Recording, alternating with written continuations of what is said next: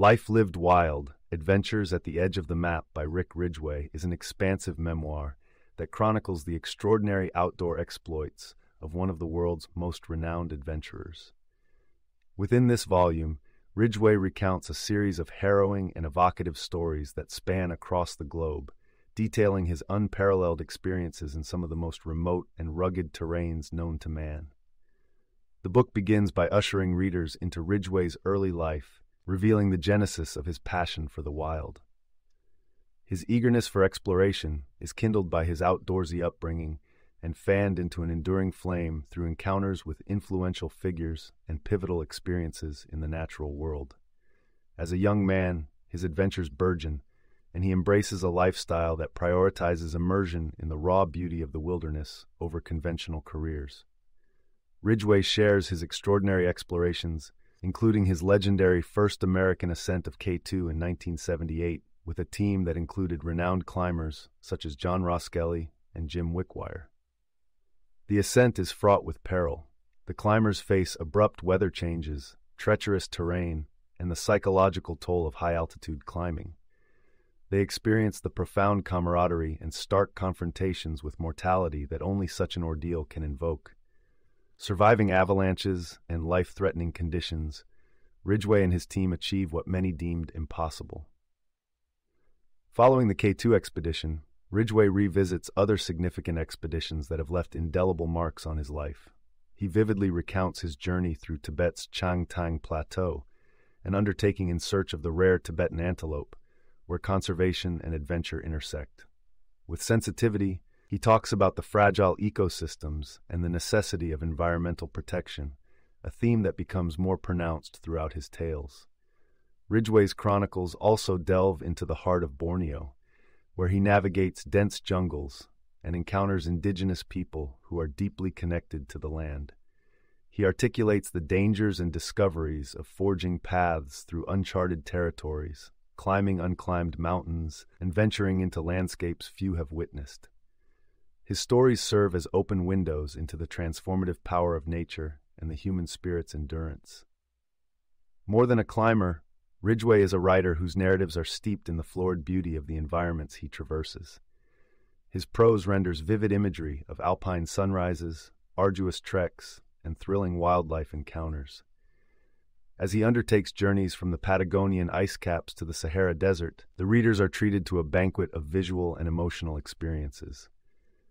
One of the most poignant parts of his memoir details his close relationship with fellow adventurers including his friendships with climbing icons like Yvon Chouinard and Doug Tompkins. These relationships are laced with mutual respect, a unified love of the wild, and shared philosophical musings on existentialism and the essence of true happiness. Ridgeway also doesn't shy away from discussing the tragic loss of friends to the mountains, offering a sober reflection on the costs of a life at the edge. The heart of Ridgeway's narrative centers on the concept of risk and reward. He provides introspection on why he is drawn to such dangerous undertakings, contemplating the intersection of fear, exhilaration, and the profound sense of being alive that comes from pushing one's limits. Although aware of the dangers, Ridgeway's desire to confront the unknown and experience the purity of unspoiled nature proves an irresistible siren call. In a continuation of the theme of transcending personal limits, Ridgeway recalls a kayak expedition that takes him across the shark infested waters of the South Pacific.